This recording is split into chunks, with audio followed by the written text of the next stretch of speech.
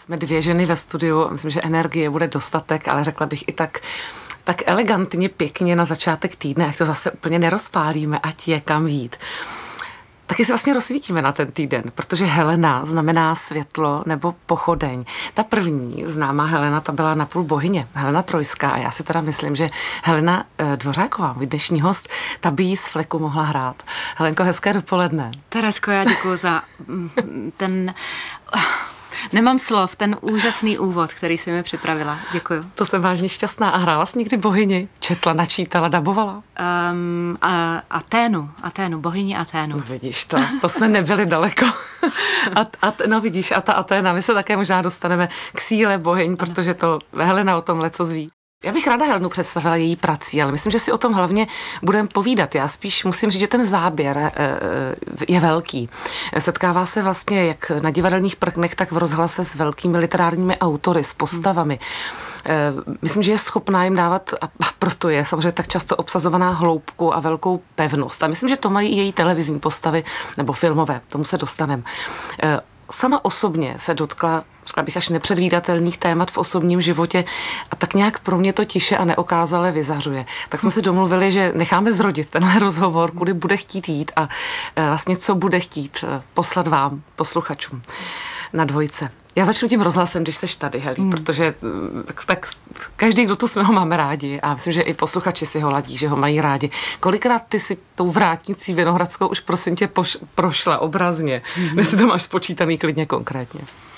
Tak ehm, dojdu k tomu jednoduchým vypočtem, když eh, dělám, eh, spolu vytvářím nějakou eh, hru divadelní, protože po nejvíc jsem tady v rozhlase kvůli tomu, kvůli dramatické tvorbě, ehm, tak ehm, jsou frekvence třeba jejich 4 až 8, tak to pak máte 8 krát do měsíce, Hmm, tak um, 12 krát 8, no. 12 8. tak přes 80, 100 krát třeba do té vrátnice. To je úžasný. Eh, Elena Ferrante jsem se dívala, taková velmi jako, my jsme o tom i dokonce mluvili tady s panem režisérem toho projektu, to je takový jeden velký projekt tvůj, ne, to bylo víc vlastně věcí. Hmm. To byla dramatická tvorba nebo četba? To byla četba. To byla zrovna četba, věď? To byla jako četba audioknihy. A e, to byl můj e, takový start, e, start up tady s, tím, s těma audioknihama. A zároveň to pro mě bylo velmi důležitý období, protože Aleš Vrzák mi nabídl tuto četbu. Bylo to v zimě, přesně si pamatuju. A já jsem se totiž to stěhovala z Českých Budějovic do Prahy. Našla jsem si místo za Prahou a hledala jsem ho strategicky, to místo, kde budu bydlet, eh, právě proto, že bylo na vlaku. A, a e, ten vlak e, tady, že e, Vinohradská rozhlas je kousíček od hlavního nádraží, pro ty, kteří nejsou z Prahy, tak jenom, aby si to dokázali představit. No takže jsem věděla, že za tu půl hodinku CCA budu v té Praze, nebudu ztrácet nikde moc čas jako cestováním zbytečným a vysilováním se, protože to bylo v době, kdy jsem se rozhodla po nemoci znovu začít pracovat.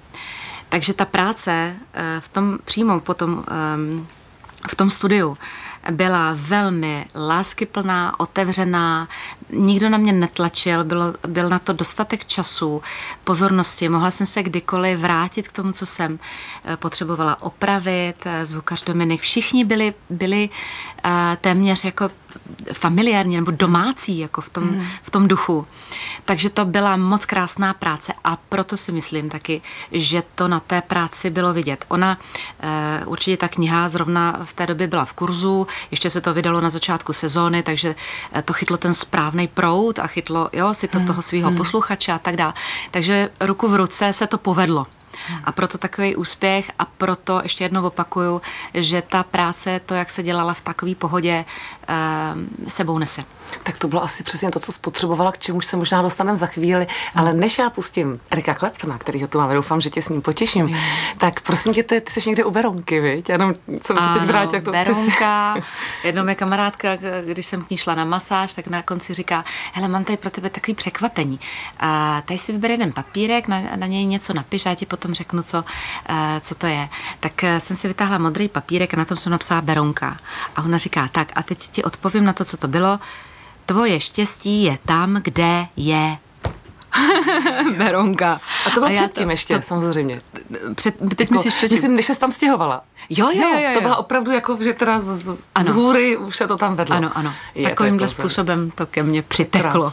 ne, protože už se řekne Berounka, tak to je to je tak nádherný, mocný a silný kraj, že, že možná i tam eh, se vláčkem vypravíme s Helenou Dvořákovou, ale zatím zůstaneme v Praze a na dvojce.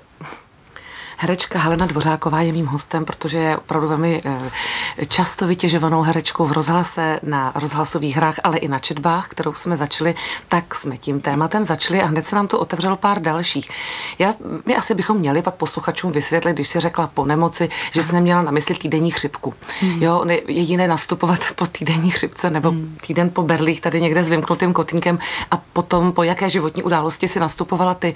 Ale než to vysvětlíme, tak mě vlastně obecně mě jako zajímá, bylo pro tebe, jako bylo to těžší pro tebe se vrátit do práce, anebo těžší tu práci najít a byl ten rozhlas třeba jako první záchranný lano, jako říct, jsem zdravá, jsem tu, jsem zpátky. Mm. Taky vůbec, jak moc člověk mohl, do čeho všeho mohl nastoupit, jako, který ten gard byl náročnější, víš, ten návrat. Mm. Um, já jsem uh, nemusela o té práci přemýšlet, ty nabídky přišly. Uh, pro mě bylo důležitý zodpovědně kývnout na to, že to zvládnu.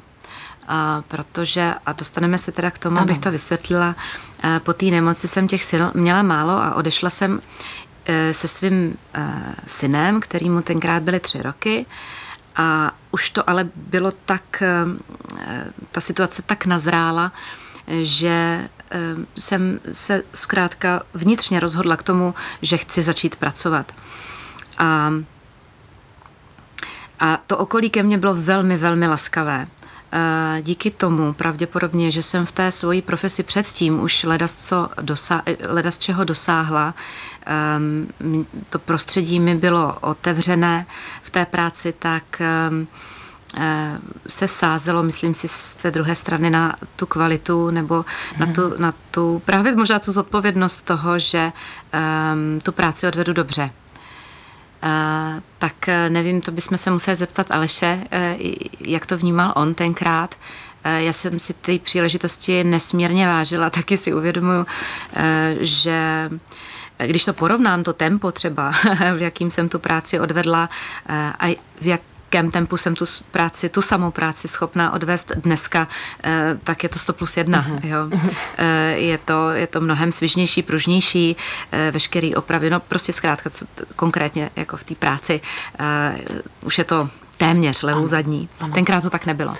No. Tak bylo to tehdejších 100% jo. těch právě možných, který si vlastně mít mohla a musela si odhadnout, což bylo asi vlastně to, ten krok udělat, že, že už můžu chodit, už můžu jo. mluvit, už můžu. Já myslím, Teresko, promiň, tak si vezmu slovo, ale ano, eh, přišla eh, si na ten správný point toho, že správně odhadnout. Hmm. Eh, sám si říct, hmm. kde teda je ta hranice moje, kam, a to, to si myslím, že bylo to, to, to všechno, co jsem se, nebo to hlavní, co jsem měla pochopit, kde je moje hranice toho, kdy můžu zodpovědně odvést já ten výkon, když už se teda bavíme o práci, mm. ale i v tom životě, abych nezaha- nezacházela za tu hranici, abych si je uměla hlídat a abych zodpovědně uměla říct, eh, tady už nemůžu, tohle už je moc. Mnohokrát jsem četla právě k tomu tvému tématu a my ho hned objasníme posluchačům. Vůbec nemějte obavu, že bychom jako byli jen dvě zasvěcené pro toho, kdo by třeba nebyl.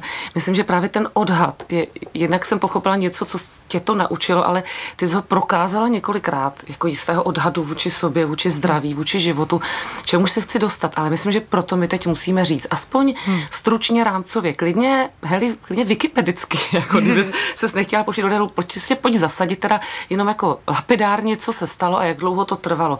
Vlastně proč to, to odhadnutí bylo tak důležitý? Uh, jo, um, musím vysvětlit, uh, že všechno uh, má svou příčinu že jo, a následek. Tak, ten, tak teď vysvětlím o toho následku, vysvětlím tu příčinu.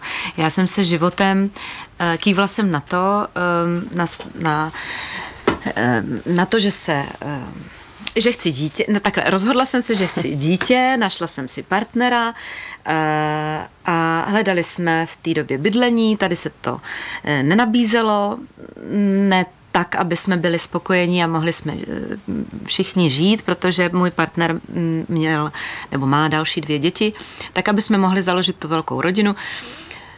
To místo jsme tady nenašli a ukázalo se nám místo v Českých Budějovicích. Tam jsme se přestěhovali. A já jsem porodila Jana, Jakuba, našeho syna, a do toho začaly jezdit eh, teda eh, ty dvě děti partnerovi mm-hmm. za náma do Budějovic.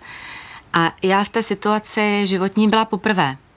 Eh, z domu jsem byla zvyklá všechno mít srovnaný, v pořádku, obstaraný, jak jídlo, tak tu domácnost, ale najednou to bylo třikrát tolik. A s tou zodpovědností, kterou jsem v sobě měla, jsem se to sama snažila utáhnout. A to nebylo možné. Navíc mě chyběl eh, kontakt eh, ten pracovní, to, že jsem byla v divadle, eh, byla jsem neustále ve společnosti, kolegů, kamarádů, přátel. Ta Praha, která mi předtím deset let nabízela kulturní, bohatý život, teď se vůbec nechci dotknout. No, Českých Budějovic, ty mají úžasnou scénu a ty lidi, kteří ji tam tvoří, tvoří tak s těmi se blízce znám, takže to vůbec o tom to, to nechci říct. Jenom Rozumíme tomu rozdílu, ano. Ten, tomu, ten rozdíl. Ta, ta změna. Ano. No, no, no, takže uh, suma sumárum, ta příčina byla v tom, že jsem zkrátka samu sebe přetáhla. Vyčerpala a ta červená, ty kontrolky červený už svíčily eh, a já to vlastně nevěděla, jak ten vlak, který se řítil někam mimo tu trať, eh, jak ho zastavit. Rozhodně to nebyl pomalý vláček z Berouna do Prahy, kde teď s Lenou Dvořákovou sedíme a příčinu víme. Jaký byl následek, hmm. to vám řekneme za chviličku na dvojce. Eh, vlastně myslím, že to krásně Helin nastínila, popsala tu situaci, že ji cítíme, vidíme, myslím, že to mnohé z nás umíme představit. Eh, neumíme si už představit třeba míru té vlastní zodpovědnosti a tlaku, který to vytvoří, ten máme každý jiný, ale umíme si ho představit, že něco ho vytvoří. Eh, jak zněla teda ta definice toho následku? tady toho všeho. Což už dneska víš, patrně si nevěděla tu příčinu. Patrně první byl následek, pak si zvydedukovala příčinu. Mm, mm. No, začalo se to projevovat tak, že jsem měla neustupující bolesti hlavy. Um, takže um, jsem to přikládala za následek uh, nedostatku spánku a malý dítě, který vyžaduje neustále pozornost, musela jsem se postarat o něj a zapomněla jsem na sebe. To se vlastně bavíme tak. opravdu malým dítěti, teď mám představu půl roku. Jen, Jeníček měl, uh, měl rok. Třeba, takže roční, roční dítě, no, dítě. takže jasně víme, ten, ten tep no, asi. Mhm. No, no, no. No, takže jsem si říkala, to přejde, to bude dobrý, to v, jako v, eh, se vyspím a pořádně se najím a odpočinu si. Jenže právě tím, eh, tím metrixem, který jsem měla v sobě, tou, tou, tím, jak jsem byla nastavená neustále vydávat, hmm. říkala jsem, tak já potřebuju ještě i tu práci v té Praze, takže jsem tam začala jezdit, hmm. takže se mi toho odpočinku nedostávalo, naopak jsem neustále šla přes sebe No, takže bolesti hlavy, um, který, když potom přišel, přišla zima, uh, tak už ta bolest byla tak nepříjemná, že to bylo, jak kdyby vám někdo vrážel do mozku nůž. A já jsem člověk, který do té doby neměl ani svého praktického lékaře. Já jsem byla zvyklá uh, se vždycky vyléčit sama.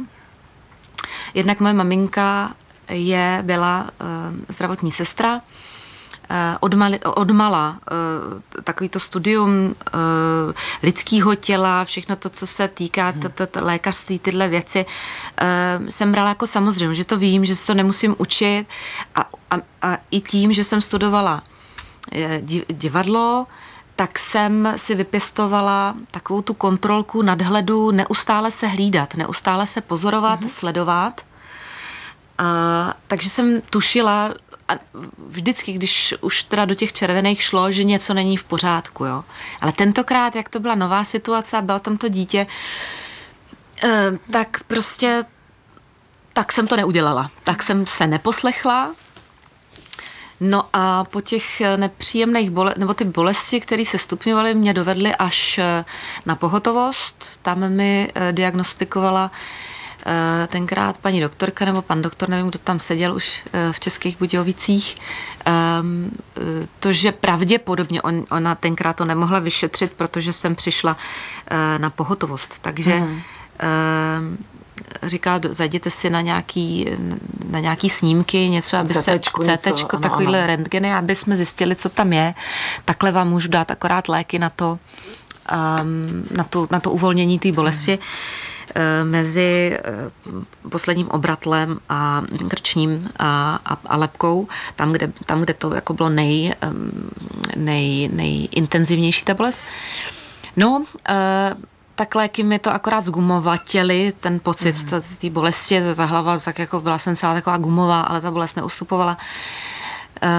No a potom jsem hrála představení v Praze, v té době představení k Paula Klodela, um, Polední úděl, za který Máš několik jsem, jsem získala, já to říkám uh, hat protože ano. uh, jsem v té době, teď už se myslím cena uh, Alfreda Radoka neuděluje, ale tenkrát se udělovaly ceny kritiky uh, divadelních novin a cena Tálie.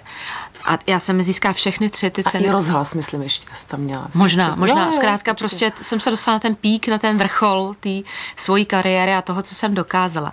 Takže tam byla i ta velká zodpovědnost toho představení. odehrát to představení mm-hmm. uh, opravdu jako tak nejlíp. Abych ty eh, ceny obhájila, když aby, je mám. Přesně rozumím, tak, abych tu lačku zase skočila.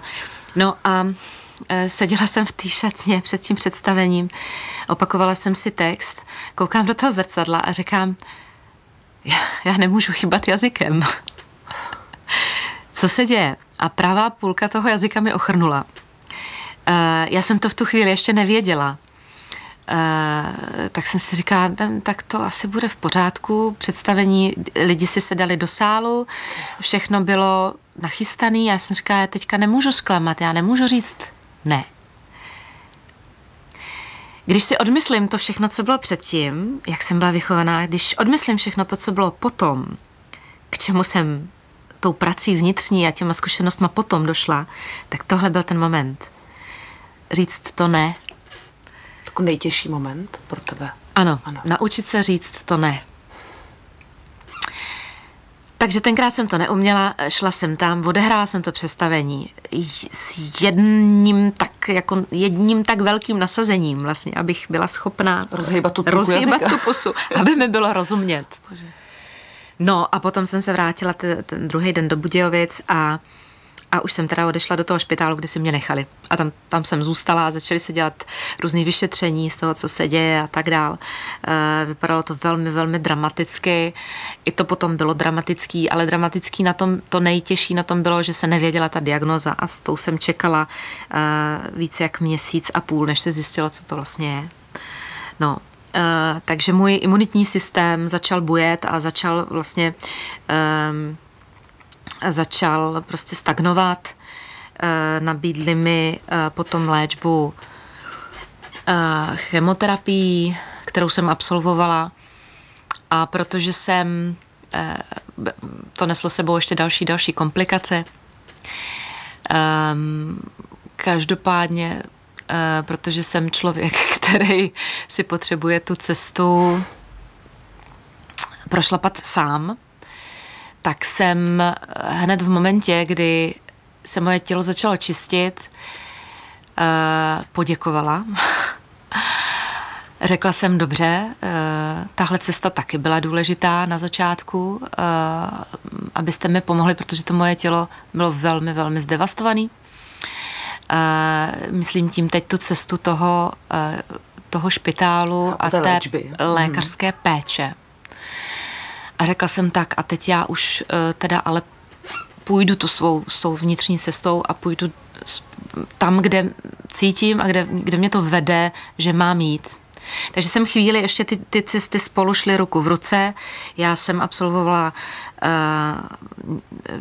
různé semináře, rodinné konstelace, mm, eh, regrese, eh, tu vnitřní, tu vnitřní práci. Co šlo v tomto, v tomto v této sféře vlastně. Ano, ano, ano. ano. Takže eh, takhle zodpovědně samozřejmě pracovala jsem na sobě, abych i tu fyzickou stránku opečovala, takže jsem se velmi začala zajímat o abych správně jedla, abych tomu tělu tak, jak zrovna v, ta, v té chvíli a v tom stavu bylo, mu dopřála to nejlepší. Eh, takže to, roz, abych jedla hodně, no v uvozovkách. Eh, nedala jsem si, nejedla jsem svíčkovou se šesti knedlema, ale eh, musela jsem do, dodat stopové prvky, makrobiotickou stravu, léky, dostupný, přírodní, který jsou ale třeba intenzivní, který mi pomáhaly, jako je um, um, dračí krev nebo tyhle věci, které dneska už jsou k dostání a jsou běžný. Um, takže tím vším jsem nějak piplala to svoje tělo. Um, ale to už vlastně říkám to rezime z toho úplně na začátku, ještě když se teda vrátím do, do toho epicentra, um, tak vám můžu říct, eh, co mě provázelo a jak vlastně jsem se postavila na nohy. to bylo taky zajímavé. no to já bych taky ráda slyšela. Tak uh, zahrajem si. Moc ráda, se na nohy. to trošku. Jo. Sedě. Ne, ne, ne, to bylo, moc za to děkuju, Helenko. Helena Dvořáková je naším dnešním hostem a budeme se stavět na nohy za chvíli. Mm. Umím si představit, milí posluchači, že jedním dechem, stejně jako já, posloucháte velmi, velmi otevřené, velmi, velmi srdcové povídání herečky Heleny Dvořákové, přestože vzhledem ke všem mým ocením bychom se mohli věnovat divadlu. Ono tam to divadlo vlastně pořád je. A seš tam do toho prostě ty s tou vlastně obrovskou teda životní zkušeností, která hmm. přišla a která ty tak rozumíš, že to z tebe cítíme. My jsme, ty sama si řekla, půjdeme do toho, jak jsem se na ty nohy postavila. Nevím, jestli tě neodvedu, myslím, že neodvedu otázku, kterou já k tomu mám, protože ty si řekla, neuměla jsem říct ne. Hmm. Tenkrát v tom bodovém momentě měla to jako ten hlavní bod. A pak si uměla říct ne lékařům, pokud jsem mm-hmm. dobře četla snad, myslím, před pátou chemoterapií, jestli, mm-hmm. jestli to myslím nedokončila. To znamená, uměla si říct ne někde, kde by člověk i ze strachu, i z respektu třeba někam došel. Prostě to je podle mě velký vývoj od jednoho neumět říct, neříct ne v tak zásadní, až bych řekla, jako životní situaci. Mm. A začala se ubírat tedy alternativnějším způsobem, jak mm. jsme z toho pochopili, přírodním, vnitřním, mm. osobním. Mm. Uh, Hmm. Ťukal si tenkrát někdo na čelo? Slyšela jsi třeba ne, to nedělej? Musela si opravdu stát za sebou v tom ne? A nebo si v tom byla podpořena? Hmm. Uh, myslím, že jsem došla uh, k tomu nejdůležitějšímu, co jsem potřebovala pochopit. A to je, že já sama nejsem oběť, ale já sama jsem ten, kdo tvoří svůj život a svoji realitu. Um, teď mám kamarádku, která se potýká s podobným problémem a kamarádku, která je její kamarádka. A tady ta kamarádka říká, já to nechápu, proč ona na to léčení nejde. Teď přece oni nejlíp ví, jak jí pomoct. A tady ta kamarádka, která je nemocná, se nechce jít léčit. A říkám, rozumím i tobě a rozumím i jí. Um, pro mě ta zkušenost, ta situace byla taková, že mi pan eh, primář nabídl, že dostanu na základě výpočtu, na, nějak, na základě uh, studií, uh, léčby, se jim osvědčilo, že když po tolikáté, tolikáté chemoterapii dostane ten pacient chemoterapii do míchy, tak to má ten, jako, ten efekt. Ten efekt. Mm-hmm. A dal mi samozřejmě na výběr. A já už jsem v té době uh, četla, pročítala a nasávala ty informace jako nejenom uh, co se týká toho, té, to, té cesty toho špitálu, jak já to nazývám, ale i těch alternativních a dalších těch nějakých uh, transcendentálních věcí, situac- věcí hmm. které tady jsou mezi náma a, a v nás. A říkala jsem, ale Mícha, to je přece něco posvátného, tam, eh, tam by se nemělo zasahovat, ne? A on říkal, je to zcela na vás. Rozhodněte se vy, jo, jestli to chcete nebo nechcete. A šla jsem si, to bylo tady na Karláku, říkám, já potřebuji time out. já vám na to nejsem schopná odpovědět. Tak jsem si šla sednout tam do toho parku, seděla jsem tam a položila jsem si tu pro mě právě tu zásadní, nej, nejdůležitější otázku. Uh, jako mám důvěřovat tomu, vnitřnímu, nejtenčímu, nejtišímu, co ve mně je. A nebo mám důvěřovat těm, kteří mi říkají, že mi takto pomůžou. Já jsem se tenkrát rozhodla, že budu věřit tomu nejtižšímu hlasu, který je ve mně a který říkal, že to je všechno v pořádku.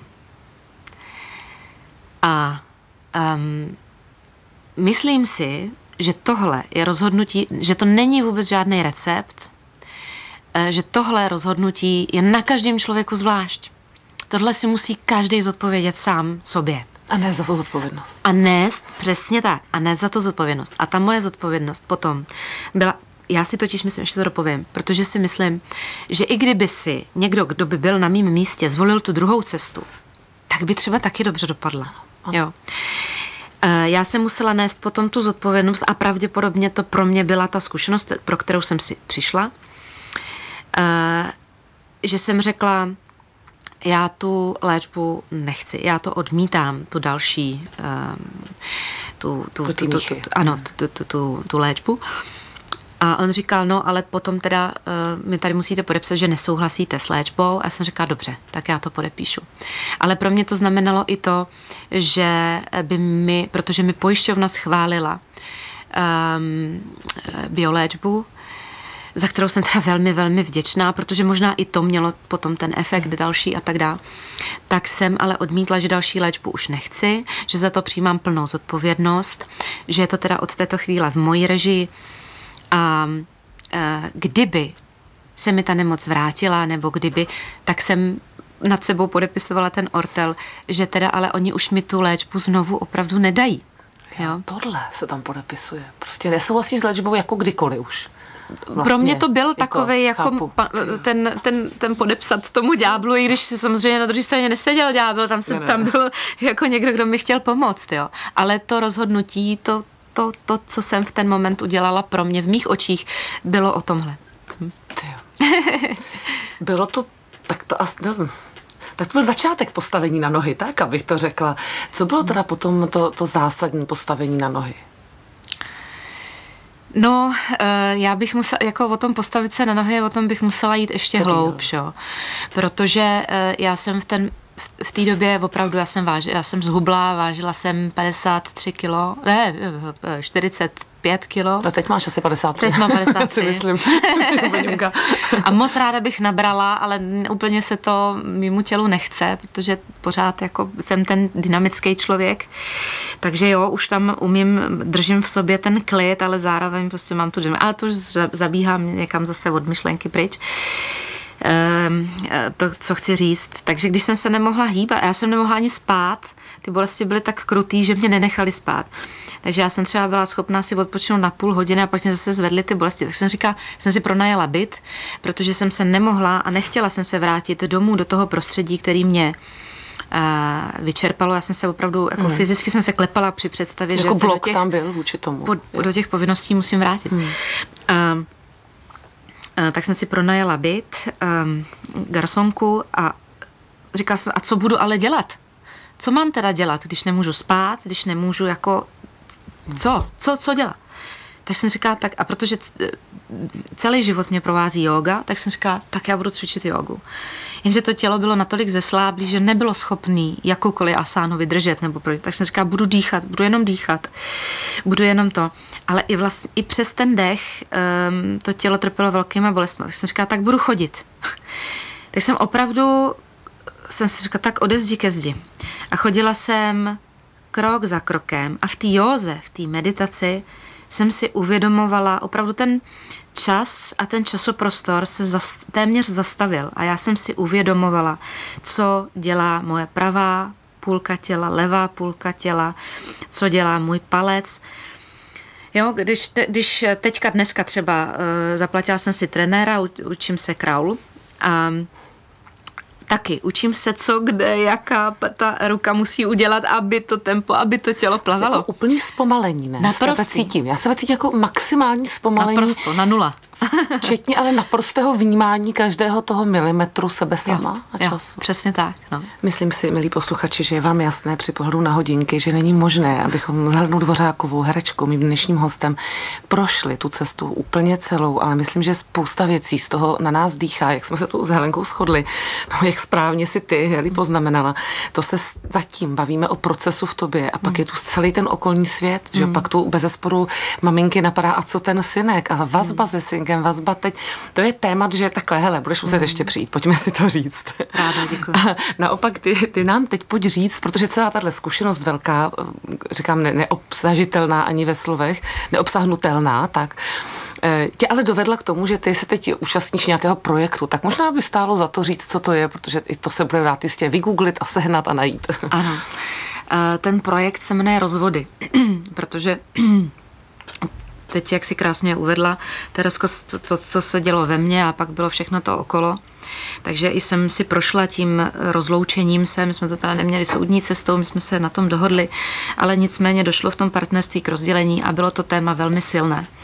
Já jsem se setkala s Jarmilou Štukovou, fotoreportérkou, um, reportérkou, fotografkou z válečných um, Zón, válečnou děkuji za ty, ano, ano, za ty slova, která mě oslovila pro projekt, který byl předtím a ten projekt se jmenuje Bolí to. Je to úžasná pomoc, týká se to popálenin, konkrétně popálenin dětí. Já jsem pro ní točila spot a tentokrát mě oslovila, jestli bych s nimi chtěla spolupracovat pracovat na představení, které se jmenuje eh, Rozvody a neb v mezích přiměřené normy. A já jsem tenkrát eh, toho měla eh, docela dost už pracovně a v osobním životě, takže jsem odmítla, ale mm, řekla jsem jí, že bych si velmi přála být součástí toho projektu, protože ten projekt to není jenom to divadelní představení, ale je vydaná i kniha, mm-hmm. Která se jmenuje Rozvod šestkrát jinak Eh, která je, je to úžasná eh, kniha, eh, kompilace příběhů renomovaných spisovatelů, ale zároveň i litera, výtvarníků. A, a slouží jako další nástroj a pomoc um, pro všechny, kteří hledají odpovědi na otázky právě v téhle nešťastné situaci těch, toho rozvodu. Ale um, abych ještě vysvětlila znovu se cílí na ty nebo jde o ty děti. O ty mhm. děti, které jsou eh, v téhle situaci rozvodu, eh, nesou potom sebou dál do dalšího života tuto zkušenost. Um, a jednak představení, jednak kniha, potom webové stránky www.ros.cz sdílené rodičovství CZ nabízí ty nástroje k tomu, jak tu situaci ošetřit. No a byla jsem, takže jsem řekla, nemůžu napřed, ne, ne, ne, nemám teď čas být součástí představení, ale přeju si být součástí celého projektu a vymysleli jsme, že po představení následuje debata. Mm-hmm. Uh, já jsem se, eh, já jsem na sebe vzala roli moderátora, učím se to, je to pro mě úplně nová zkušenost, proto teď jsem tady v mezičase mezi písničkama, když ne, eh, tě spovídala Teresko, aby si mi řekla svoje know-how, jak se to dělá, celý ta moderace. Um, tak to je jedna věc. Moderu, moderuju tu debatu s profesorem um, klinické psychologie, panem Radkem Ptáčkem, a to je velmi důležitý Krásný. říct. Takže i to je pro mě obrovským zdrojem informací a, a nových pohledů. Ta debata se vede s těmi diváky, to o tom představit. Je to úžasné, všem vám to doporučuji. Tak to hmm. je jedna, jeden velký projekt, na kterém se teď podílím a jsem za to velmi vděčná. Helenko, já se vůbec nebojím, musíme se bohužel rozloučit, já se vůbec nebojím, že by si se své nové role moderátorky nezhostila perfektně. Navíc si myslím, že po té cestě, jakou si ušla, je opravdu moderátorka, to je brnkačka. Heli, to je ty s tvým nacítěním, to máš takhle. Děkuji, děkuji ti, Teresko. Já, já moc děkuji, až se ti daří ve všem, ve všem a děkuji za to, co jsi nám tady přišla předat a opravdu věřím, že to není naposled, že to ještě navážem. Děkuji. Já jednu rychlou jestli můžu, ano. Eh, tu, kterou jsem si, tu informaci, kterou jsem si vzala od pana profesora. Eh, on se pta, eh, on, diváci se ptají, jak teda udržovat ty naše vztahy v pořádku a, t, a to znamená i vztah sám se sebou, že? A, a on říká naplňovat to, to, to svoje já a ty vztahy pozitivními zážitky. Tak, a, a, tím bych to uzavřela. Ano, protože ty my máme, chci říct, ty my máme a děkujem za ně. Hezký den. Český rozhlas dvojka. Rádio, které vás baví.